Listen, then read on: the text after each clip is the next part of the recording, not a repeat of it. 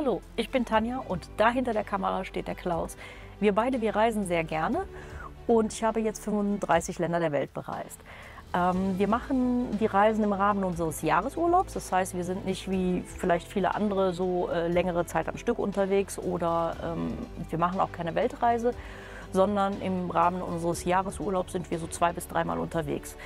Entweder mit dem Wohnmobil in Deutschland, wir machen Reisen in Europa oder auch Fernreisen.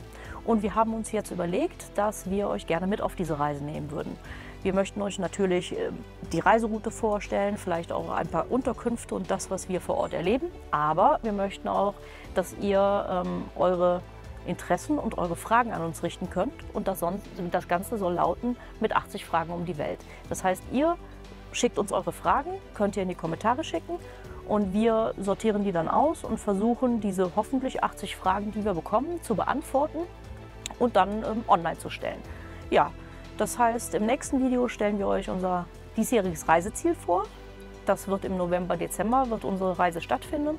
Und dann könnt ihr loslegen und alles, was euch zu diesem Land und unserer Route interessiert, einfach in die Kommentare.